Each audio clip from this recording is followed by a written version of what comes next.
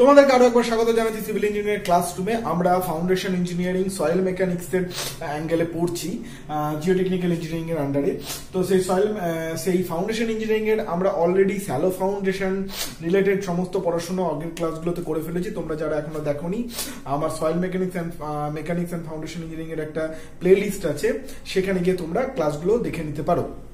তো আজকে আমরা যেটা পড়ব সেটা হচ্ছে, আমরা শুরু করছি ডিপ ফাউন্ডেশন তো আমরা প্রথম ক্লাসেই বলেছিলাম যে ফাউন্ডেশন কখন আমরা স্যালো করব আর কখন আমরা ডিপ ফাউন্ডেশন করব, ঠিক আছে? তো তার আমি একটা ছোট্ট একটা জিনিস একটু হালকা করে বলে দিই। সেটা হচ্ছে যে, ধরো আমরা একটা স্ট্রাকচার আমরা এখানে বানাবো এই মাটির ওপরে, ঠিক আছে? স্ট্রাকচার বানাবো এই মাটিটার ওপর। তো স্ট্রাকচার আমরা কি করি? এটা একটা ফুটিং বানিয়ে আমরা স্ট্রাকচারের লোডটাকে মাটির ওপর ট্রান্সফার করি। ঠিক আছে? তো আমরা যখন আমরা আরসিসি ফুটিং যখন ডিজাইন করেছি, তখন আমরা দেখেছি কি করতে হয়? না, আমাদের কলমে কতটা লোড আছে? সাপোজ টু বি ধরো একশো কিলোমিটার লোড হলো একটা কলমে। ঠিক আছে? এবং সেই মাটির বিয়ারিং ক্যাপাসিটি কত? ধরো সাপোজ টু বি হচ্ছে দশ kilo newton per metre square এ হচ্ছে ধরো সাপোজ টু বি তার এখানকার বিয়ারিং ক্যাপাসিটি হ্যাঁ? তো এই দুটো ভাগ করে আমরা এই ফুটিং এর এরিয়া কতটা হবে, সেইটা আমরা কিন্তু বার করি। ওকে তাহলে এবার দেখা গেল যে যদি আমরা এখানে একটা স্ট্রাকচার করছি, ধরো একটা ছোট স্ট্রাকচার তাহলে তার জন্য যে এরিয়া এলো, দেখা সেই এরিয়াতে আমার আর কি সেই এরিয়াটা আমার ফেসিবল এরিয়া বা বলতে পারো যে আমার এই বিল্ডিং ধরো এটা যদি বিল্ডিং এর প্ল্যান হয়, ধরো আমার এতটা করে, এতটা বিল্ডিং এর জন্য জায়গা অ্যাভেলেবেল আছে, ঠিক আছে? আমাদের এতটা ল্যান্ড আছে। আর এটা হচ্ছে বিল্ডিং এর প্ল্যানিং এর প্ল্যানের এরিয়া ঠিক আছে? এবার ধরো এরকম হলো যে আমাদের যা আসছে এরিয়া প্রত্যেকটা ফুটিং এর এরিয়া ক্যালকুলেট করে যেটা আসছে, সেটা মোর দ্যান দিস এরিয়া এই এই যা আমার কাছে জায়গা আছে হ্যাঁ তার চেয়ে অনেক বেশি এরিয়া আফটার ক্যালকুলেশন চলে আসছে। আমি তোমাদেরকে এটা একটা জাস্ট পয়েন্ট অফ ভিউ বলছি, হুম? তার মানে কি? তার মানে এটা দাঁড়াচ্ছে যে এই যে মাটিটা যেটা আছে যে মাটির উপর তুমি ফাউন্ডেশনটা করছ, সেই মাটির যে বিয়ারিং ক্যাপাসিটি সেইটা কম। বুঝতে পারছ? এইটা যত কম হবে, এর মাপটা, এর মানটা তত বেশি আসবে। ঠিক আছে? এইটা যত কম হবে, আমার এরিয়া তত বেশি আসবে। দেখা গেলো, এমন এরিয়া এলো যে আমি র্যাপ ফাউন্ডেশন করেও আমি সেটা কোলাতে পারছি না। দ্যাট মিনস তখন আমাদেরকে কি করতে হবে? আমাদেরকে গোফার ডিপ ফাউন্ডেশনের জন্য আমাদেরকে যেতে হবে। এবং ডিপ ফাউন্ডেশনের মধ্যে পাই ফাউন্ডেশন আমরা জানি একটা খুব ইম্পর্টেন্ট ফাউন্ডেশন বা সবচেয়ে বেশি ইউজ হয়, অনেক বেশি ইউজ হয় ওয়েল ফাউন্ডেশনে ইউজ হয় বাট পাই ফাউন্ডেশনের ভীষণ অ্যাকসেপ্টেবল আর কি বর্তমান দিনগুলোতে। তো তখন আমরা যাব ডিপ ফাউন্ডেশনে ঠিক আছে? যখন আমাদের স্যালো ফাউন্ডেশন দিয়ে লোড ট্রান্সফার করা পসিবল হচ্ছে না মাটিতে then we will go for deep foundation তো ডিপ ফাউন্ডেশনের মধ্যে পাই ফাউন্ডেশন হচ্ছে একটা ওয়েল অ্যাকসেপ্টেবল একটা কি বলব ফাউন্ডেশন ওকে তো এবার পাইল ফাউন্ডেশন পাইল কীরকম দেখতে হয় সেটা মোটামুটি তোমরা সবাই জানো, সেগুলো নিয়ে আমি আস্তে আস্তে খুব একটা বেশি ডিটেলে যাচ্ছি না। এবার এই পাইলকে আমরা কি কত রকম ভাবে ভাগ করি? হ্যাঁ এইখান থেকে আমাদের অনেক প্রশ্ন আসবে, আসতেও পারে but being a civil engineer এই টার্মিনোলজিগুলো সম্পর্কে কিন্তু তোমাদেরকে অবশ্যই জানতে হবে। এই টার্মগুলো না জানলে কিন্তু হবে না, ঠিক আছে? তো আমরা পাইলের যে ভাগগুলো আছে, সেই ভাগগুলোকে কতগুলো আগে মানে ক্লাসিফাই করে নিচ্ছি যে এর বেসিসে ভাগ, তার বেসিসে ভাগ, তার বেসিসে ভাগ। তাহলে তোমাদের বুঝতে সুবিধা হবে। ঠিক আছে? তো প্রথমেই আমরা যেটা করব সেটা হচ্ছে বাই অ্যাকশন মানেটা কি? বাই অ্যাকশন অনুযায়ী ভাগ করব। বাই অ্যাকশন অনুযায়ী ভাগ মানে কি? পাইল অ্যাকচুয়ালি কীভাবে কাজ করে। ঠিক আছে? মানে স্যালো ফাউন্ডেশনে আমরা কি দেখেছি? লোড এলো, এরিয়া দিয়ে, এরিয়া, আমরা একটা চওড়া এরিয়া করে দিলাম, সেই এরিয়া দিয়ে মাটিতে লোড চলে গেল। কিন্তু পাইল ফাউন্ডেশন সেটা কীভাবে কাজ করে? সে কীভাবে মাটিতে লোড ট্রান্সফার করে? ঠিক আছে? তার বেসিসে কি করে তার পাইলের কি অনেকগুলো ভাগ হয়? ইয়েস সেইটা কীভাবে? সেটা ভাবে আমরা এই বাই অ্যাকশনের বেসিসে দেখব। আর একটা কীভাবে আমরা ভাগ দেখব?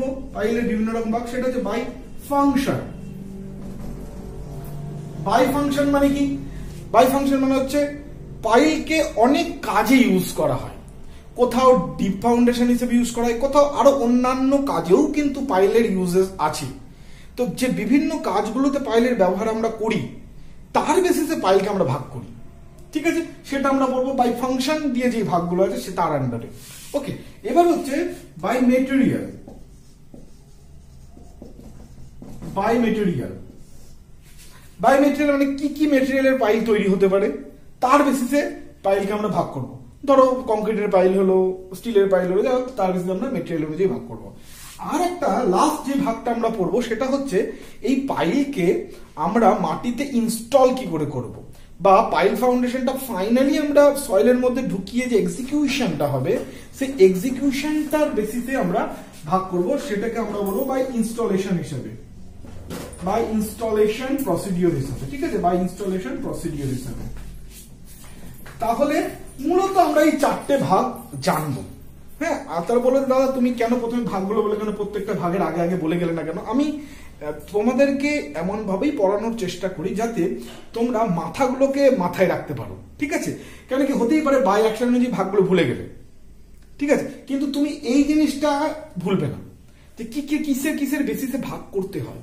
যদি কিসের কিসের বেসিসে পাইলের ভাগগুলো আছে, সেইটা যদি তোমাদের মাথায় থাকে, তাহলে এইগুলো যদি ভুলেও যাও, একবার করে দেখে নিলে তুমি কিন্তু গুছিয়ে ফেলতে পারবে। বা তোমাকে কেউ একটা বলল যে এই এই পাইল এটা মানে তুমি কার বেসিসে ভাগ করে বলছে, সেটা কিন্তু তুমি ক্লাসিফাই করে নিতে পারবে, ঠিক আছে? সেই কারণে কিসের বেসিস গুলোতে ভাগ করা হয়, সেটা আমি তোমাদেরকে ভালো করে বলে দিলাম। ওকে তাহলে চলো এবার প্রথমে আমরা দেখে নিই বাই অ্যাকশন অনুযায়ী কি কি ভাগ হয়। হুম, এই, এটা আমাদের ইন্ট্রোডাকশন চ্যাপ্টার চলতে মানে ইন্ট্রোডাকশন প্রথমে আমি একটু ইন্ট্রোডাকশনগুলো পড়িনি এই জায়গাগুলো একটু পড়ে নিতে হবে কেন কি এই জায়গাগুলো জানলে অনেক কিছু জিনিস ক্লিয়ার হবে বা বলা যেতে পারে এই জিনিসগুলো অ্যাকচুয়ালি ফিল্ডে খুব দরকার পড়ে, এই টার্মোলজি এই জিনিস, ছোট ছোট জিনিসগুলো ওকে তো প্রথম হচ্ছে বাই অ্যাকশন মানে পাইল কীভাবে লোড মাটিতে ট্রান্সফার করে ওকে তো এই ক্ষেত্রে এক্ষেত্রে দুটো ভাগে পাইলকে ভাগ করা যেতে পারে মেনলি দুটো ভাগে। তার কম্বিনেশন করে একটা হয়, সেটা আলাদা ব্যাপার। কিন্তু মেনলি দুটো ভাগে বা দুটো প্রসিডিওরে ও লোড ভাগ করে। সেই হিসেবে তার নাম হয়। একটা হচ্ছে এ নাম্বার দিচ্ছি end bearing pile sorry end bearing pile and next হচ্ছে ফ্রিকশন পাইল ফ্রিকশন পাইল তো নাম থেকে তোমরা একটু একটুখানি বুঝতে পারছ যে এন্ড বিয়ারিং অর্থাৎ বিয়ারিং যেটা হবে বা ধরে রাখা যেটা হবে সেটা বাই এন্ড হিসেবে।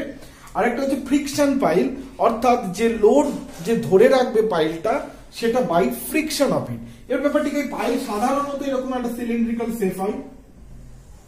ঠিক আছে, এরকম একটা সিলিন্ড্রিক্যাল শেপের পাইল হয়। ঠিক আছে, এবার ধরো তুমি যে মাটিতে পাইলটাকে আর কি ড্রিভেন করছ হ্যাঁ? ওকে এবার দেখা গেল এই পুরো মাটিটা, এই পুরো মাটিটা ভীষণ সফট ভীষণই সফট ভীষণই লুজ সয়েল মানে এই মাটিটা বেসিক্যালি এই পাইলকে ধরে রাখতে পারছে না। ওকে মানে তোমাদেরকে আগে, তার আগে একটা জিনিস বলে রাখি। ধরো, আমি এই এই জিনিসটাকে এই জিনিসটাকে আমি মাটির মধ্যে পুঁতবো। ঠিক আছে, এইটা ধরো পাইল মাটিটাকে মাটির মধ্যে পুঁতবো। তাহলে এই এই মাটির মধ্যে পোতার ফলে এটা মাটির মধ্যে আটকে থাকবে বা তারপরে ধরো পোতার পর আমি এর উপরে এরকম করে প্রেশার দেবো। ঠিক আছে? তাহলে এই প্রেশারটার ওপরে বা প্রেশারটাকে সহ্য করবে এই পাইলটা তার সারাউন্ডিং সয়েলের দ্বারা। সে কীভাবে সেটা হতে পারে? দুটো জিনিস ভাবে হতে পারে। বা এই যে লোডটা যেটা দেব, তার ফলে এই পাইলটা মাটির মধ্যে একদম ডুবে যাবে না। মানে একদম সিঙ্ক করে যাবে না। পাইলটা থাকবে স্ট্রং হয়ে। সেটা দুটো ভাবে হতে পারে। একটা কি, যে যখন পাইলটা আমি মাটির মধ্যে ঢোকাচ্ছি পুরো পোর্শনটা তাহলে এই চারপাশের যে মাটি আছে, সেই মাটি এরকম করে এটাকে চেপে ধরে থাকতে পারবে। ঠিক আছে? আর একটা জিনিস কি হতে পারে, যদি আমি পাইলটাকে কোনো একটা জায়গায় ধরো একটা মানে স্ট্রং রকের ওপর রাখি, তাহলে এইখানে যে লোডটা যাব, সেই রকটাও একে সাপোর্ট দেবে। ওকে তাহলে তুমি দেখতে পাচ্ছ যে মূলত দুটো ভাবে পাইল, এই যে লোড পাইলের উপর যে লোড আছে, সেটা সয়েল হ্যাঁ পাইল থেকে দুটো ভাবে পায়। একটা হচ্ছে থ্রু দিস স্কিন এই যে এই যে পুরো যে চারপাশে যে স্কিন আছে, সেই স্কিনে যে সয়েলের উপর ধরে থাকে, ফলে কি হয়? স্কিন ফ্রিকশন হবে। মানে পাইলটাকে নিচের দিকে যেতে দেবে না। এইটা এক। আর দুই হচ্ছে, যদি ধরো তুমি এটাকে কোনো সলিড কোনো বা রকের ওপর গিয়ে রেখে দাও এটাকে, তাহলে সেই রকটাও কিন্তু একে একটা স্ট্রেনদেন করবে। ঠিক আছে? তাহলে এই দুটো জিনিসে বলা হয়। যদি যখন শুধুমাত্র শুধুমাত্র এই রক রকটাই, রকের ওপর তুমি পাইলটাকে রাখার পরে শুধুমাত্র রকটাই স্ট্রেনদেন করছে। শুধুমাত্র রকটাই স্ট্রেনদেন করছে স্কিন ফ্রিকশন স্ট্রেনদেন করতে পারছে না। কেন? বিকজ অফ লুজ লাইফ ধরো এই পাইলের চারপাশে সয়েলটা ভীষণ লুজ ভীষণই সফট ক্লে ধরো, তার কোনো স্ট্রেংথ নেই, কিছু নেই। ঠিক আছে? ইন দ্যাট কেস কি হবে? এই যে স্কিন ফ্রিকশন থেকে যেই স্ট্রেংথটা আসার কথা ছিল পাইলের সেটা আসছে না। শুধুমাত্র ধরো এখানে একটা রক আছে। একটা রকের ওপর আমি পাইলকে রেখেছি।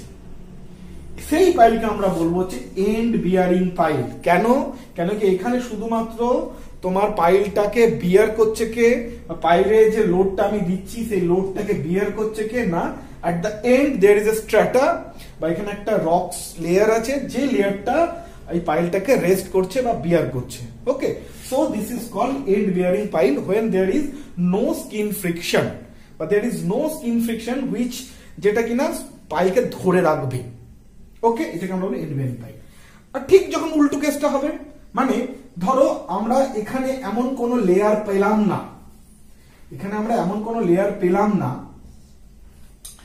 খুব শক্ত লেয়ার যার মাধ্যমে সয়েলটা এরকম এন্ড বিয়ারিং পাচ্ছে। বা এরকম হতে পারে যে ধরো আমার চারপাশের সয়েলটা এতটাই শক্তি প্রদান করছে বা এতটাই, কি বলব স্কিন ফ্রিকশন দিচ্ছে, ঠিক আছে? লুজ সয়েল না হয়ে তোর ভীষণ কম্প্যাক্টেড একটা ভালো ক্লে বা খুব দারুণভাবে এইটাকে ধরে রাখছে। ঠিক আছে স্পাইলটাকে স্কিন ফ্রিকশন দিয়ে, যে আমি আমার যতটা লোড ট্রান্সফার করা দরকার, সেটা পুরোটা আমার স্কিন ফ্রিকশন দিয়ে হয়ে যাচ্ছে, ফলে আমি আর কোথায় গিয়ে রক আছে, আমি আর দরকার নেই, আমি এতটা ধরো এমবেডেড করেই ছেড়ে দিলাম। কেন কি আমার স্কিন ফ্রিকশন দিয়ে যে স্ট্রেংথটা পাইলের আসছে, সেটা দিয়ে আমার যতটা লোড ট্রান্সফার করব, আমার কাজ হয়ে যাচ্ছে, কাজ হাসিল হয়ে যাচ্ছে। ঠিক আছে, তাহলে এই ধরনের পাইলকে বা যখন ফাইল এইভাবে কাজ করবে যে শুধুমাত্র তার স্কিন ফ্রিকশন দিয়ে স্কিন ফ্রিকশন দিয়ে যখন লোডটাকে সয়েলে ট্রান্সফার করে দেবে এন্ড বিয়ারিং আইদার নেই বা দরকার পড়বে না, তখন আমরা সেই পাইলকে বলব ফ্রিকশন পাইল ঠিক আছে? তাহলে ব্যাপারটা আশা করি তোমার সামনে ক্লিয়ার হয়ে গেল যে পাইল কীভাবে কাজ করে। পাইল মূলত কাজ করে যে লোডটা আসে পাইলে পাইল কাজ করে, যে লোডটা পাইলে আসে সেটা সয়েলে ট্রান্সফার করতে হবে। এটাই তো ফাউন্ডেশনের কাজ।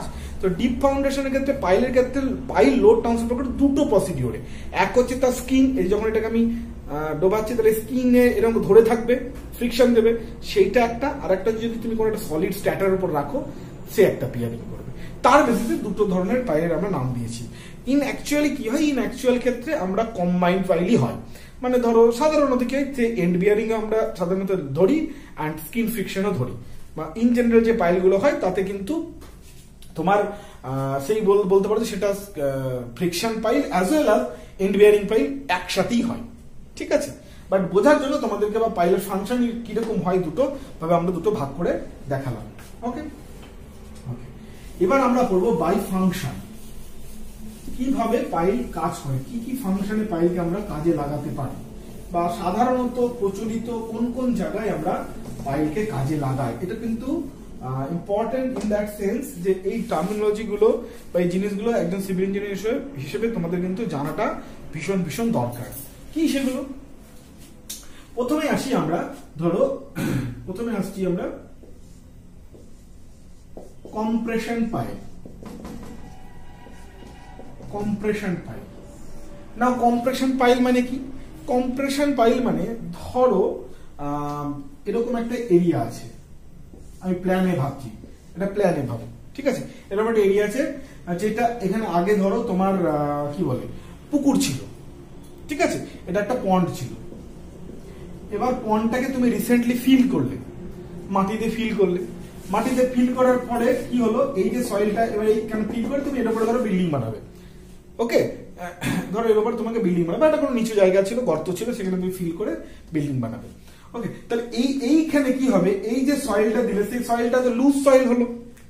তাই তো? সয়েলটা তো লুজ হলো। মানে এটাকে কনসুলেশন হতে হবে, এটাকে কম্প্যাকশন করতে হবে, তারপরে বুঝতে পারছ তো? মানে সয়েলটা তো লুজ সয়েল বেসিক্যালি তো এই লুজ সয়েলকে কম্প্রেস করার জন্য বা সয়েলটার স্ট্রেংথটাকে বৃদ্ধি করার জন্য আমরা কি করি? স্ট্রেংথটাকে বৃদ্ধি করার জন্য কি করি? আমরা এই করে করে, ধরো এরকম এরকম করে করে একটা একটা করে পাইল করে দিই। এর মধ্যে পাইল ইনসার্ট করে ঠিক আছে? পাইল ইনসার্ট করে। কীরকম হয় সেটা যদি আমরা ধরো সাপোজ তুমি এলিভেশনে দেখি, বা একটা ক্রস ওই মাটিটা যদি আমরা ক্রস সেকশন নিই, তাহলে কীরকম ভাবে দেখতে লাগবে? তো এরকম একটা পাইল আছে। এরকম। এগুলো হচ্ছে আমাদের recently loose soil recently fill soil loose soil তাহলে কি হবে? এই পাইলগুলো যখন থাকবে, তখন কি এই পাইলগুলো এইভাবে এদিকে প্রেসার দেবে? এই পাইলটা এদিকে প্রেসার দেবে। ফলে এই যে এখানকার যে সয়েলটা সেটা কিন্তু কম্প্রেসড হবে। আবার ঠিক এই মাঝখানে সয়েলটাও সেম ভাবে হবে। অর্থাৎ বেসিক্যালি কি? বেসিক্যালি হচ্ছে যে একটা সয়েলের মধ্যে আমি ছোট ছোট ছোট ছোট পাইল ভরে দিয়ে বা এমবেডেড করে আমরা পুরো জিনিসটাকে একটা সলিড বা বলতে পারো তার মধ্যে ছোট ছোট রিনফোর্সমেন্ট ভরে দিয়ে, ঠিক আছে রিনফোর্সড করছি। পুরো জায়গাটাকে আমরা রিনফোর্স করছি বা ওই সয়েলটার স্ট্রেংথ বৃদ্ধি করছি বা বিয়ারিং ক্যাপাসিটিকে বৃদ্ধি করছি, ঠিক আছে? By this by by using this pile তাহলে এক্ষেত্রে পাইলের কাজটা কি? সয়েলটাকে কম্প্রেস করা। ওকে এই সাধারণত এগুলোর ক্ষেত্রে কি, এই পাইলগুলো কি দিয়ে হয়? সাধারণত এগুলোর ক্ষেত্রে আমরা কি করি বলতো? স্যান্ড ভরে দিই। এই যে বলো না পাইলগুলো কিসের হতে পারে? জিজ্ঞেস করতে পারে কংক্রিটের পাইল ভরি নাকি স্টিলের পাইল ভরি? সাধারণত কি করি আমরা? এগুলোর মধ্যে স্যান্ড ভরি। বলতে পারো this are generally sand pile হয়। স্যান্ড পাইল হলে কি হয়? স্যান্ড পাইল হলে এ দুটো ভাবে কাজ করে। স্যান্ড পাইল ধরে আমরা বললে, তাহলে কি হচ্ছে? একটা প্রথম কথা তো কম্প্রেসরের জন্য কাজ করছি। সেকেন্ড থিং কি হয়? স্যান্ড ভরার সাথে সাথে আমার এই যে এখানে যে মাটিগুলো আছে, সেই মাটির যে ড্রেন জলটা যে বেরোবে, কেন কি পোর ওয়াটার প্রেশারের মধ্যে দিয়ে জল যতক্ষণ না রিলিজ হচ্ছে, ততক্ষণ তো কনসুলেশন হবে না। তাহলে কনসুলেশনটাও কিন্তু তাড়াতাড়ি হয়। বুঝতে পেরেছ? সো এগুলো সাধারণত স্যান্ড পাইল দিয়ে আমরা এই পুরো ব্যাপারটা করি। But the pile is used to compress the soil that is why I said যে it is compression pile clear আশা করি? এমন কিছু কঠিন ব্যাপার না। হ্যাঁ? তাহলে এখান থেকে আরেকটা জিনিস তোমরা জেনে গেলে, ধরো তোমার এরকম কোনো জায়গায় তোমাকে কোনো কাজ করতে হচ্ছে, যেখানে ধরো রিসেন্টলি একটা গর্ত আছে বা গর্ত ফিল আপ করে তোমাকে কাজ করতে হবে। তো তখন কিন্তু তোমার মাথায় রাখবে, কোনো জায়গায় রিসেন্টলি সয়েলকে ফিল করে কাজ করাটা কিন্তু খুব রিস্কি ঠিক আছে? কেন কি সেখানে সয়েলটাকে প্রথম কথা কম্প্রেসড হতে হবে অ্যাজ ওয়েল অ্যাজ কিছুটা কনসোলেশন অবশ্যই হতে হবে। ঠিক আছে? নাহলে স্ট্রাকচার বানালে দেখা গেল সয়েল স্ট্রাকচারের লোডে সয়েল কনসোলেট হয়ে গেল তখন গেল স্ট্রাকচারে ক্র্যাক চলে এলো ডিফারেন্সিয়াল সেটেলমেন্ট হলো। তো সেই কারণে এই স্যান্ড পাইল যে জিনিসটা, সেটা কিন্তু খুব ইম্পর্টেন্ট হুম, এই স্যান্ড পাইল করে করে করে করে কি হয়? কনসোলেশন পসিবিলিটিটাকে অনেকটা তাড়াতাড়ি করা হয়। ক্লিয়ার যদি এই রিসেন্ট ফিলটা এই যে ফিল্ডিংটা করছ, সেটা যদি তোমার ক্লিয়ার রিলেটেড হয়, এবার ধরো তুমি পুরো ফিলটা স্যান্ড দিয়ে করছ, তাহলে ব্যাপারটা কিন্তু অন্যরকম। সেক্ষেত্রে অন্যরকম। ঠিক আছে? সেখানে কিন্তু তোমাকে স্যান্ড পাইল হবে না। অন্য কোনো পাইল দিয়ে তোমাকে কম্প্রেস করতে হবে। ওকে ক্লিয়ার যদি বা স্যান্ড দিয়ে করলে সাধারণত কম্প্রেশনের ঝামেলা মানে কনসোলেশন ঝামেলাটা থাকে না বিকজ ইউ উই নো যে স্যান্ড খুব তাড়াতাড়ি কনসোলেশন হয়ে যায়। নেক্সট হচ্ছে tension file sorry pile tension pile tension pile কি? টেনশন পাইল মানে হচ্ছে যেখানে pile is used to take tension to take tension ব্যাপারটা ঠিক কীরকম? ধরো, আমার এখানে এরকম একটা এম্বাঙ্কমেন্ট স্টার্ট হচ্ছে। তারপরে এটা আমার সমতল এরিয়া ঠিক আছে? তাহলে এই যে এই যে এই যে এম্বাঙ্কমেন্টটা ঠিক আছে? এই এম্বাঙ্কমেন্টটাকে বলতে পারো হচ্ছে ধরে রাখার জন্য বা এইখানে এই শার্পনেসটাকে ধরে রাখার জন্য তুমি ধরো এখানে আমি কোনো রিটেনিং ওয়ালও দিতে পাচ্ছি না। ধরো আমার বাইন্ডিংস আছে যে আমি রিটেনিং ওয়াল এখানে প্রোভাইড করতে পারছি না। ঠিক আছে? ইন দ্যাট কেস আমরা কি করি এখানে? আমরা এরকম স্ট্রাকচারের পাইল বানিয়ে দিই। এরকম স্ট্রাকচারের পাইল বানিয়ে দিই। ক্লিয়ার মানে কি, এই যে পোর্শনটা, এই পোর্শনটা আমার পুরো এই সয়েল ফিল্ডটাকে ধরে রাখছে। ঠিক আছে? সয়েল ফিল হোক, যে এনিথিং ফিল হোক, এই ফিল্ডটাকে এই পুরো এই পাইলের আমার এই পোর্শনটা ধরে রাখছে। এবার এটা ধরে রাখার জন্য কি হচ্ছে? এটা এরকম করে উঠে যেতে চাইবে। ঠিক আছে? প্রেশারটা কি এরকম হবে? মানে ও চাইবে কি এই জিনিসটাকে এরকম করে ঘুরিয়ে নিতে, উঠিয়ে দিতে। তার মানে কি এই পাইলগুলো উপর দিকে উঠতে চাইবে। ঠিক আছে? পাইলগুলো উপর দিকে উঠতে চাইবে, ফলে স্কিন ফ্রিকশন আমার নিচের দিকে কাজ করবে। স্কিন ফ্রিকশন আমার নিচের দিকে কাজ করবে। এই যে কেসটা এই এই ক্ষেত্রে এই পাইলের উপর কি একটা টেনশন ফোর্স কাজ করছে? মানে পাইলটাকে টেনে উপর দিকে তুলে দিতে চাইছে এই ফিল্ডটা এখান থেকে যে ফোর্সটা আসবে, সেই ফোর্সটা কি করবে? পাইলটাকে ভেতর থেকে টেনে তুলে দিতে চাইবে। ঠিক আছে? তো, এবং সেই টেনশনটাকে মিট আপ করছে এই পাইলটা। So this is called tension pile বোঝা গেল?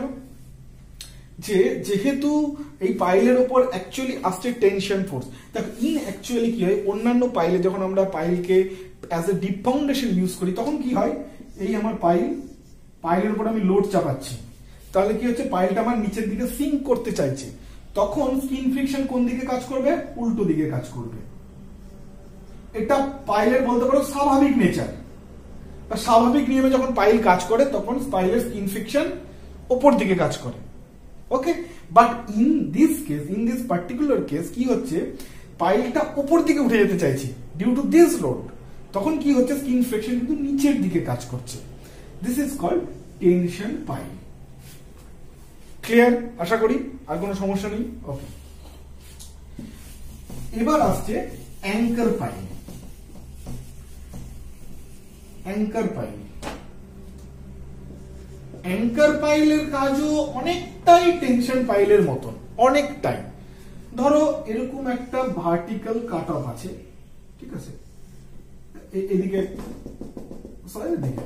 ভার্টিক্যাল কাট অফ আছে। ঠিক আছে এর তুমি কিছু একটা এখানে দিয়ে রেখেছো।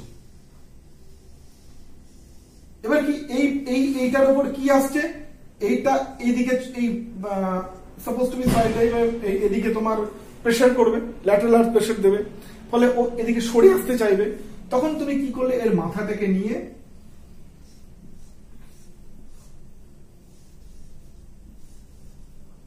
এরকম একটা পাইল সিস্টেম বানিয়ে দিলে। যাতে কি, এ যখন এদিকে আসতে যাবে, এটা টেনে ধরবে এই পাইলটা ফলে এই পাইলগুলো অ্যাজ অ্যান অ্যাঙ্কার হিসেবে কাজ করছে। অ্যাঙ্কার মানে কি, যেভাবে নৌকোকে আমরা যখন তীরের ধারে বেঁধে রাখি, একটা অ্যাঙ্কার লাগিয়ে দিয়ে। ওকে, বুঝতে পেরেছ তো? ঠিক তেমন ভাবে এই যে কাট অফ এই যে তুমি এখানে যে মেটেরিয়ালটা ইউজ করেছ, সে চাইবে হেলে যেতে সেই সেটাকে ধরে রাখছে কে? এই অ্যাঙ্কারটা এই পাইলগুলো বেসিক্যালি এটা ধরে রাখছে। So this is call anchor pile clear okay next আমাদের আর কতগুলো আর একটা জিনিস আছে হচ্ছে সিট পাইল ঠিক আছে? খুব ইম্পর্টেন্ট খুব এটা জিনিসটা তোমরা যখন কাজে ঢুকবে ভীষণ ভাবে মানে এইটা তোমাদের এই নামটা শুনতে হবে। সেটা হচ্ছে সিট পাইল তো সিট পাইল জিনিসটা অ্যাকচুয়ালি কি? সিট পাইল হচ্ছে সাধারণত হচ্ছে বলা যেতে পারে হচ্ছে তোমার ওয়াটার জলের জল থেকে বা জলের গতিপথকে, গতিপথের দৈর্ঘ্যকে বৃদ্ধি করার জন্য, একদম পাতি বাংলায় যদি বলা হয় মেইনলি সিট পাইল এটা করে। তোমাদেরকে একটা উদাহরণ দিই সেটা হচ্ছে যখন তোমরা দেখবে কোনো একটা ব্যারেজ বা ড্যাম আছে, ধরো, হুম? ধরো আমি একটা গ্র্যাভিটি ড্যাম আছি। তো এ ধরো এটা আপস্ট্রিম সাইড এটা হচ্ছে আমার ডাউনস্ট্রিম সাইড এটা হচ্ছে আমার আপস্ট্রিম সাইড এটা হচ্ছে আমার ডাউনস্ট্রিম সাইড ঠিক আছে? তাহলে এখানে হচ্ছে তোমার হেডের পার্থক্য এটা তো হেডের পার্থক্যের জন্য কি হবে জল এই দিক দিয়ে পার্কুলেট করার চেষ্টা করবে? পার্কুলেট করে সিপেজ লাইন হবে, দিয়ে এটা দিয়ে বেরিয়ে যাবে। এভাবে জল পার্কুলেট করে সিপেজ হয়। তোমরা সিপেজ চ্যাপ্টার যখন আমি পড়েছি তখন দেখেছ। তো যখন এই কেসটা হবে, তখন কি এই যে সিপেজ লেন্থটার উপর, এই সিপেজ পাথের যে লেন্থটা তার উপর ডিপেন্ড করে এইখানে কতটা প্রেসার নিয়ে জলটা বেরোবে। ঠিক আছে? এবার এই লেন্থটা যদি কম হয়, তাহলে এখানে অনেক বেশি প্রেশার নিয়ে জল বেরোবে। ফলে বেশি প্রেসার যদি জল বেরোয়, তাহলে এইখানে জায়গাটা ইরোটেড হওয়ার চান্স অনেক বেশি থাকবে। সেই জন্য আমরা কি করি? আমরা কি করি? এখান থেকে যেখান থেকে জল বেরোবে, আমরা এখানে এরকম করে সিট পাইল দিয়ে দিই একটা। এদিকেও একটা আমরা সিট পাইল দিয়ে দিই এরকম। তাহলে কি হয়? এই জলটা সোজাসুজি এদিক দিয়ে বেরোতে আর পারে না। এইভাবে আস্তে আস্তে এখান দিয়ে আসতে হয় আসতে হয় তারপরও এইভাবে আস্তে আস্তে যায়। আবার এখান দিয়ে আসতে হয় দিয়ে এসে এইভাবে বেরোতে হয়। ফলে কি হলো আমার? আমার length of the water flow has increased ঠিক আছে? বা এই জলের ফ্লোটাকে আমি ডিরেক্ট ফ্লোটাকে আমি এখানে আটকে দিলাম। এই যে পাইল যেটা আমরা ইউজ করছি এখানটায় this is call sheet pile নামটা শুনে বুঝতে পারছ পাইলটা পাইলটা আজ সিট হিসেবে কাজ করছে। হ্যাঁ একটা সিট হিসেবে কাজ করছে বেরিয়ার হিসেবে কাজ করছে। ওয়েন দের যে পাইলটা ব্যারিয়ার হিসেবে বা সিট হিসেবে কাজ করছে, ঠিক আছে? বেসিক্যালি এই, এর কাজ কিন্তু মানে কি বলব? লোড ট্রান্সফার করা না। ভালো করে বোঝো। লোড ট্রান্সফার করা কিন্তু সিট পাইলের কাজ নয়, সাধারণত। এটার মেনলি কাজ হচ্ছে অ্যাজ এ ব্যারিয়ার হিসেবে কাজ করা। So this is call sheet pile okay ঠিক আছে সিট পাইল আশা করি আর সিট পাইলের তারপর এখন বর্তমান কালে যখন তোমরা কাজ করবে সিট পাইল বিভিন্ন রকমের সিট পাইল বিভিন্ন কোম্পানি বানায়, তার বিভিন্ন স্পেসিফিকেশন হয়, সেগুলো নিয়ে আমি আর এখানে ডিটেলে আলোচনা করছি না, তোমরা কাজের জায়গায় এসে জেনে নিতে পারবে। বাট সিট ফাইলের মেন ফাংশনটা কি? কোথায় সিট ফাইলকে ধরতে হয়? কোথায় সিট ফাইল মানে ধরো তোমাকে একটা কাজ করতে হবে, তুমি তোমার সিট ফাইল তাহলে বলো সিট ফাইল তুমি জানোই না এবার সিট ফাইল কি জিনিস এটা যেন না হয় ওকে সিট ফাইল এটা এটা জেনে নেবে এবার হচ্ছে আরও কয়েকটা টাইপের পাইল হয়, যেমন হচ্ছে ব্যাটার পাইল ফেন্ডার পাইল ঠিক আছে? এগুলো কি? এগুলো আমি একটা উদাহরণ দিয়েই তোমাদেরকে বলে দিচ্ছি ব্যাটার পাইল আর ইয়ে পাইল ধরো, তোমার কত ডক মানে ইয়ে হয় না, যেগুলো আর কি ডক হারবার মানে যেখানে জাহাজের বন্দর যেটা পোর্ট বলি আমরা। পোর্টে কি হয়? পোর্টে ধরো, আমাদের এরকম একটা, এখানে এসে আমার জাহাজ দাঁড়াবে, ঠিক আছে? এখানে এসে আমার জাহাজ দাঁড়াবে। এখানে এসে আমার জাহাজ দাঁড়াবে। ওকে তাহলে এইটা ধরো আমার পোর্টের যে প্ল্যাটফর্ম সেই প্ল্যাটফর্মের এখানে আমরা কি করি? সিট পাই দিই। ঠিক আছে? এখানে সিট পাই দিই। এটা আমরা সিট পাই ইউজ করি। যেখানে এন্ড হচ্ছে আমাদের ডকের প্ল্যাটফর্মটা ওকে তারপরে আমরা কি করি? তারপরে আমরা যেটা করি, সেটা হচ্ছে এই এই সিট পাইলটার উপর এখান থেকে লোড আসে। ঠিক আছে? এই লোডটাকে সামলানোর জন্য আমরা এখানে আরেকটা পাইল ইউজ করি। এটাকে আমরা বলি হচ্ছে ব্যাটার পাইল কি বলি? ব্যাটার পাইল ঠিক আছে? এর কি করে ব্যাটারি পাইল দেখবে তোমরা অনেক অনেক ড্যাম স্ট্রাকচারে বা অনেক তোমার ড্যাম স্ট্রাকচারে মেনলি এরকম করে প্লেটটাকে ধরে রাখার জন্য এরকম করে করে, এরকম করে ব্যাটার দেওয়া হয়। ঠিক আছে? তো এই যে ব্যাটার পাইল ইউজ করে জাস্ট টু এইটাকে ভার্টিক্যাল পজিশনে ধরে রাখার জন্য। ঠিক এটা অ্যাজ এ স্ট্রেংথ হিসেবে কাজ করে। আচ্ছা এই ব্যাটার পাইলের পরে এবার এই পুরো জিনিসটা যাতে এই জাহাজের ডিরেক্ট টক্কর না লেগে যায়, সেই জায়গাটাকে সেভ করার জন্য আমরা এরকম একটা স্ট্রেনদেন পাইল ইউজ করি, যেটা কিনা আমার জাহাজের ধাক্কাটাকে ডিরেক্টলি মিনিমাইজ করবে। বা একদম জাহাজের স্টক করতে হবে একটা, প্রথমে এসে একটা ভিড় এখানে যখন ঠেকবে, একটা তো থ্রাস্ট আসবে। সেই থ্রাস্টটাকে নেওয়ার জন্য যে পাইলটা ইউজ করা হয় দ্যাট ইজ কল্ড হচ্ছে ফেন্ডার পাইল কি বলা হয়? ফেন্ডার পাইল এগুলো তোমরা হালকা করে নোট করে রেখে দিতে পারো। হ্যাঁ আর যেভাবে বুঝিয়ে দিলাম, সেই জিনিসটা একদম নিজেদের মতন করে গুছিয়ে লিখে দিতে পারো, যাতে আর তোমার ভবিষ্যতে এই পাইলের নামগুলো নিয়ে আর কোনো গল্প না সাধারণত এই কটা পাইলের নাম জানলেই হয়ে যায়, সাধারণত, ঠিক আছে? এইগুলোই সাধারণত ইউজ হয়। ওকে তাহলে বাই ফাংশন হিসেবে বা কাজের পদ মানে কি? কোন কাজে ইউজ হয়, তার বেসিসে পাইলের কি কি নামকরণ, সেগুলো আমরা এখানে সবটা জেনে গেলাম। আচ্ছা। এরপরে আরেকটা কি বলেছিলাম? যে বাই মেটেরিয়াল মেটেরিয়ালের উপর দাঁড়িয়ে পাইলকে কি কীভাবে ভাগ করা যায়? তাহলে বাই মেটেরিয়ালের দ্বারা মেটেরিয়ালের ইউজেসের উপর দাঁড়িয়ে আমরা পাইলকে কি কীভাবে ভাগ করতে পারি? প্রথম কথা খুব সিম্পল ব্যাপার কংক্রিট পাইল বুঝতেই পারছি, এগুলো নিয়ে বেশি কিছু আমার বলা দরকার নেই। কংক্রিটের পাইল হয় ইউ নো অল দ্যাট কংক্রিটের মধ্যে তোমার আর কি প্রিস্টেস পাইলও হতে পারে। But this is under comes under concrete pile ঠিক আছে? দুই নম্বরে হচ্ছে স্টিল পাইল হতে পারে। তিন নম্বর হচ্ছে টিম্বার পাইল হতে পারে মানে কাঠের। আর চার নম্বর হচ্ছে কম্পোজিট পাইল হতে পারে। কম্পোজিট পাইল মানে made of concrete steel together বা made of timber and steel together made of timber and concrete together ঠিক আছে? বা তিনটে মিক্স করে হতে পারে। মানে মেনলি দু তিনটে দু তিনটে মেটেরিয়ালকে মিক্সড করে যখন হয় কোনো pile that is called composite pile এটা নিয়ে আলাদা করে আমার কিছু বলা দরকার নেই। স্টিলের পাইল হতে পারে বা টিম্বারের পাইল হতে পারে। কারণ পাইল কি জিনিস সেটা তো বুঝেই গেলে। ফলে সেইটা কোনো কিছু দিয়ে মেড অফ করা যেতে পারে।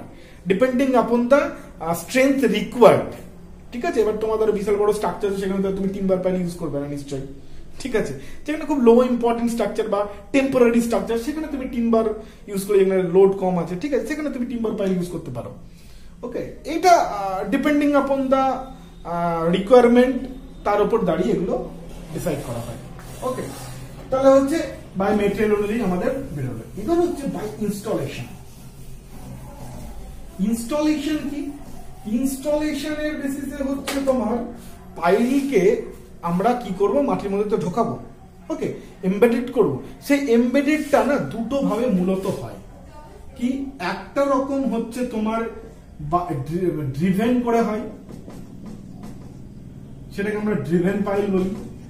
আর আরেকটা হয় হচ্ছে বোর করে হয় মানে বোরিং করে হয়। সেটাকে আমরা বোর পাইল বলি। ব্যাপারটা কি? ব্যাপারটা হচ্ছে, ধরো আমি এর মধ্যে, আমি এখানে পাইলকে, এটা ধরো আমার সয়েল ঠিক আছে? এর মধ্যে আমি পাইল এমবেডেড করব। তাহলে কি হতে পারে? এই একটা পাইল আমার রাখলাম, যে পাইলটাকে আমি এমবেডেড করতে চাই। তো আমি এখানে একটা মেশিনারি নিয়ে এলাম আমরা গাড়ি নিয়ে এলাম। গাড়ির উপরে থেকে এরকম একটা হ্যামার আছে। ঠিক আছে? সেই হ্যামারটা এর উপর বারবার স্ট্রোক করছে আর পাইলটা আস্তে আস্তে আস্তে আস্তে ভেতরে চলে যাচ্ছে। বুঝতে পেরেছ? তাহলে যখন আমরা বাই হ্যামার দিয়ে ঠুকে ঠুকে, ঠিক যেরকম আমরা প্রেক প্রেক পুঁতি, ধরো একটা প্রেক প্রেকের উপর আমরা হাতুড়ি দিয়ে বাড়ি মেরে মেরে মেরে মেরে প্রেকটা ঢোকাই, ঠিক একই রকম ভাবে যখন পাইল এভাবে রেখে বারবার হ্যামার দিয়ে মেরে মেরে মেরে মেরে, বড় হ্যামার দিয়ে মেরে মেরে যখন সেটাকে আমরা এমবেডেড করি, তখন সেটাকে আমরা বলি ড্রিভেন পাইল মানে আমরা ড্রাইভ করছি পাইলটাকে ওকে আর যখন আমরা যখন আমরা এইভাবে না করে, এইভাবে না করে, যখন আমরা এখানে ধরো আমরা পাইল এমবেডেড করব, না, আমরা খুঁড়তে স্টার্ট করলাম। আগে আমরা বোরিং করে নিলাম। ঠিক আছে? বোরিং করে নিয়ে তারপর আমরা এখানে পাইলটাকে ইনসার্ট করাচ্ছি। ঠিক আছে? এই পাম্প করা যেতে পারে। সেইটাকে আমরা বলি বোর পাইল এবার এখানে যেটা মাথায় রাখতে হবে, যে ড্রিভেন পাইল যেটা হবে মানে যেটাকে আমরা হ্যামার দিয়ে ঢোকাবো, সেই পাইলটাকে মাস্ট বি প্রিকাস্ট পাইল হতে হবে। এটা মাথায় রাখব অবশ্যই কেন কি আমি একটা জিনিসকে ঢোকাবো, তাহলে অলরেডি সেটা আগে থেকে কাস্টেড হয়ে আসতে হবে, তাই না? মানে একদম পাইল একদম রেডি আছে, আমরা জাস্ট ড্রিভেন করে ঢুকিয়ে দিলাম। Okay but in case of bore pile bore bore করে আমরা কোন পাইল ঢোকাতে পারি? সেটা সেটা কাস্ট ইনসিটু পাইল হতে পারে। কাস্ট ইনসিটু মানে আমরা খুঁড়ছি আর তারপর তোমার খোঁড়ার পরে কি করি? এরকম আমরা একটা কংক্রিটের খাঁচাটা ঢুকিয়ে দিলাম। সরি মানে রিনফোর্সমেন্টের খাঁচাটা আমরা পুরো ঢুকিয়ে দিলাম। তারপর আমরা কংক্রিট ওখানে ইনপুট করলাম পাইল রেডি হয়ে গেল। ক্লিয়ার এভাবে হতে পারে। তাহলে সেটা কাস্ট ইনস্টিটিউট পাইল হতে পারে। আবার তুমি এমনি পাইলো প্রিকাস্ট পাইলো তুমি খুঁড়ে তুমি ঢুকিয়ে রাখতে পারো। ঠিক আছে? আচ্ছা এক্ষেত্রে আমরা বলে রাখি, এই যে ড্রিভেন পাইল এই ড্রিভেন পাইলের কিন্তু স্ট্রেংথ বা load carrying capacity is more is more than what than this bore pile ঠিক আছে? Driven pile can take more loads than this bore pile clear okay ঠিক আছে? আচ্ছা আমি এই তথ্যটা দিলাম। তোমরা একবার প্লিজ ভেরিফাই করে নিও বইয়ের সাথে। কেন কি অনেক সময় হয় আমার মাথাও একটু ভুলে ফুলে যেতে পারে। But please make it check okay যে তবে আমি জানি যে যতদূর আমার মনে পড়ছে driven pile can take more load than bore pile okay কেন কি আমি যেটা পড়াচ্ছি, এটা কিন্তু একটা তোমাদের ক্লাস এরপরে তোমাদেরকে বই খুলে পড়তেই হবে।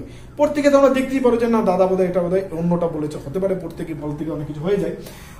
তো তোমরা কিন্তু অবশ্যই বাড়িতে টেক্সট বুক পড়বে, দেখবে তোমাদের জিনিসগুলো খুব ক্লিয়ারলি বুঝে যেতে পারছ। ওকে ঠিক আছে। তাহলে এই গেল হচ্ছে প্রিকাস পাইলটা আমি বলে দিলাম প্রিকাস পাইল বা কাস্ট ইনস্টিটিউ পাইল আর ড্রিভেন বোর ঠিক আছে? এই হচ্ছে ব্যাপার।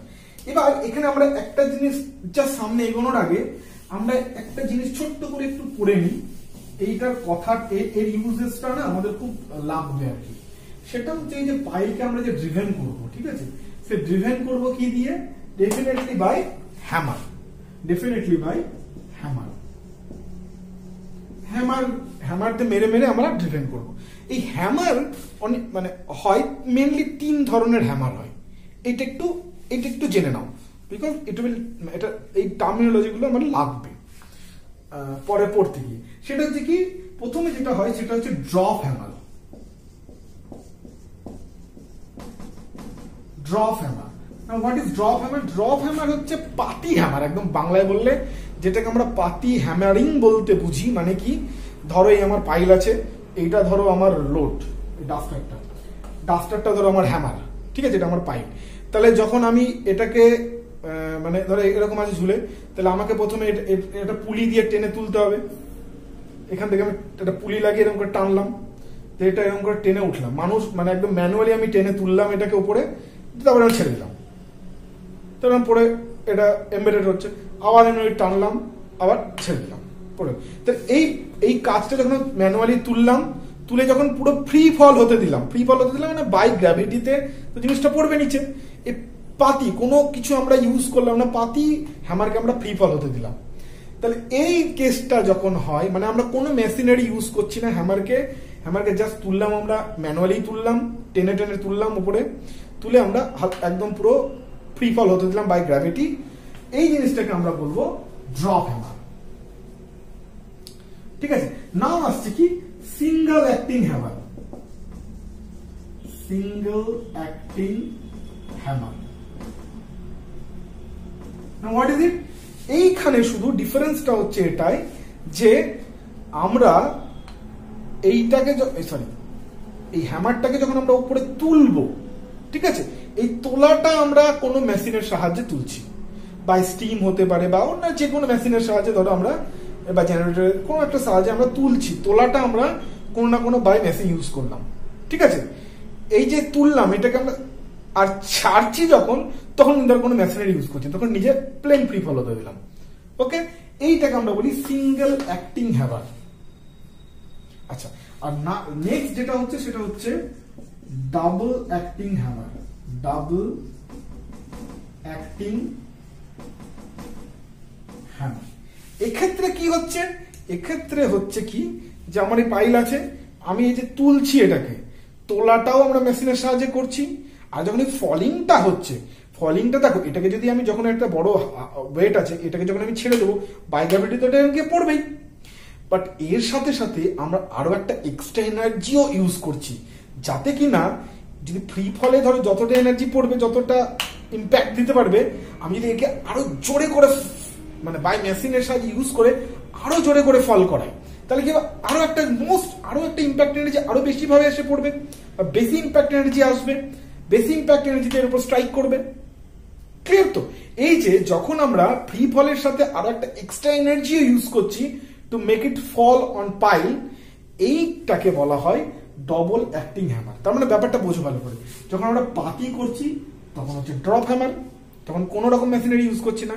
যখন শুধুমাত্র ফার্স্ট টার্মটা মানে তোলার ক্ষেত্রে শুধুমাত্র মেশিন ইউজ করছি, তখন সেটাকে আমরা বলি সিঙ্গেল অ্যাক্টিং হ্যামার আর যখন তোলা প্লাস ফেলা, দুটোর জন্য আমরা মেশিন ইউজ করছি, তখন হচ্ছে আমাদের ডবল অ্যাক্টিং হ্যামার ক্লিয়ার তাহলে এবার একটা জিনিস একটু হালকা করে মাথায় ঢুকিয়ে নাও যে ড্রপ হ্যামারের ক্ষেত্রে কি হচ্ছে? আমরা কতটা এনার্জি হ্যাঁ কতটা এনার্জি আমরা পাইলের ওপর ফেলছি, পাতি এই যে ওয়েট যেটা দিচ্ছি আর হাইট ওয়েটের সাথে হাইট গুণ করলে যে ব্যাপারটা আসবে, ততটা পরিমাণ এনার্জি আমরা পাইলের উপর দিচ্ছি একবারে। সিঙ্গেল অ্যাক্টিং হ্যামারে কি করছি? সিঙ্গেল অ্যাক্টিং হ্যামারে যেহেতু তোলাটা শুধুমাত্র আমরা মেশিনের সাহায্য করছি, ফেলাটা যেটা আলটিম আসলে যেটাকে আমাকে পাইলকে ড্রিভেন করাচ্ছে, সেটা কিন্তু পাতি পড়ছে ড্রপ হ্যামারের মতন পাতি নিজের গ্র্যাভিটিতেই পড়ছে। ফলে এক্ষেত্রেও যে এনার্জিটা আসছে, সেটা হচ্ছে weight by height into height ঠিক আছে? কিন্তু যখন ডবল অ্যাক্টিং হ্যামার হচ্ছে, তখন কীভাবে হচ্ছে, তখন কেসটা কি হচ্ছে, কতটা এনার্জি এর উপর আসবে? তখন হচ্ছে এই, এটা গ্র্যাভিটি ফলের জন্য যে এনার্জিটা আসছে, সেটা তো আসবেই। তার সাথে সাথে যে আমরা এক্সট্রা আরও একটা এনার্জি ইউজ করছি, এটাকে আরও দ্রুত ফেলার জন্য তার সাথে সেই এনার্জিটাও অ্যাড হবে। ঠিক আছে? মানে ফ্রি ফলের এনার্জি প্লাস হচ্ছে মেশিনের এনার্জি ড্রপ হ্যামারের ক্ষেত্রে কতটা এনার্জি আমার পাইলের উপর আসবে একবারে? শুধুমাত্র ফ্রি ফলের এনার্জি সিঙ্গেল অ্যাক্টিং হ্যামারে কতটা এনার্জি আমরা পাইলের উপর দিচ্ছি?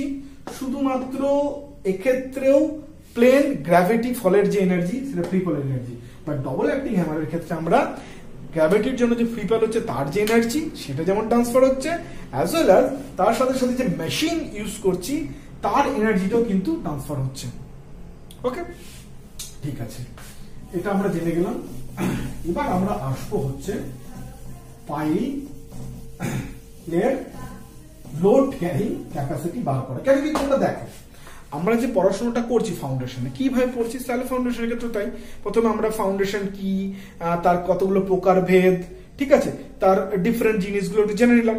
তারপরে কি, আমাদের ফাইনালি কি উদ্দেশ্য? কেন কি আমরা পড়ছি টিও টেকনিক্যাল ইঞ্জিনিয়ারিং আমাদেরকে জানতে হবে যে যে ফাউন্ডেশনটা আমি ইউজ করছি, সেই ফাউন্ডেশনটা দিয়ে আমি মাটিতে কতটা লোড ট্রান্সফার করতে পারব safely that means the bearing capacity of the soil আমাকে বার করতে হবে for the particular loading condition বা পার্টিকুলার ফাউন্ডেশন কন্ডিশন বা বলা যেতে পারে যে অ্যালাওয়েবেল লোড বা ultimate load carrying capacity of the soil for that foundation এটা আমরা বার করতে চলেছি।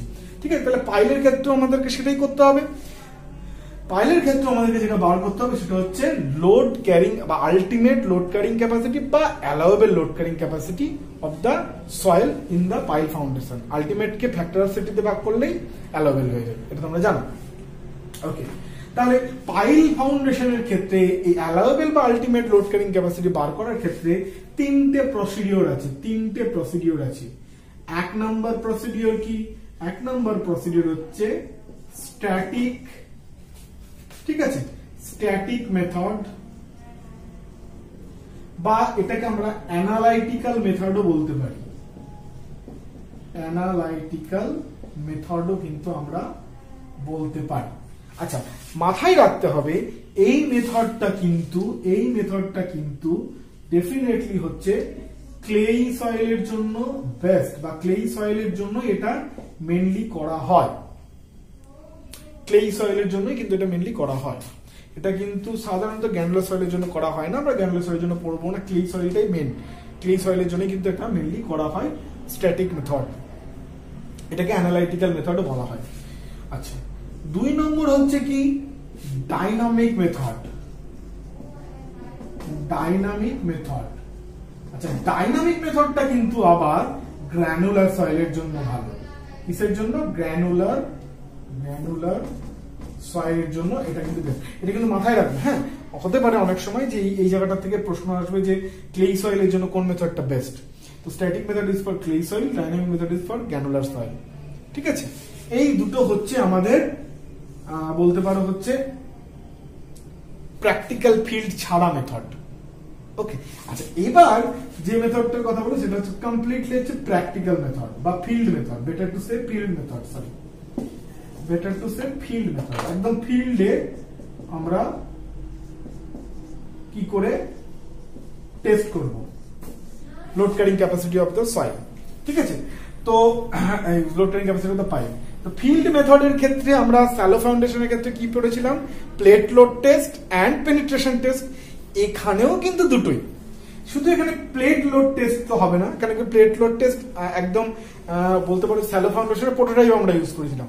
কিন্তু এখানে তো সেটা নয়, এখানে আমরা যেটা করব সেটা হচ্ছে pile load test pile load test and যেটা পড়ব সেটা হচ্ছে কি পেনিট্রেশন টেস্ট পেনিট্রেশন টেস্ট আচ্ছা পেনিট্রেশন টেস্ট বা মেথড এটা টেস্ট বলো বা মেথড বলে, যাই বলো না তো পাইলোড টেস্ট আর পেনিট্রেশন টেস্ট পেনিট্রেশন টেস্ট আবার দুভাবে বিভক্ত যেটা হচ্ছে পাতি হচ্ছে স্ট্যান্ডার্ড পেনিট্রেশন টেস্ট বা এসপিটি আর হচ্ছে কোন penetration test same as in case of shallow foundation ঠিক আছে?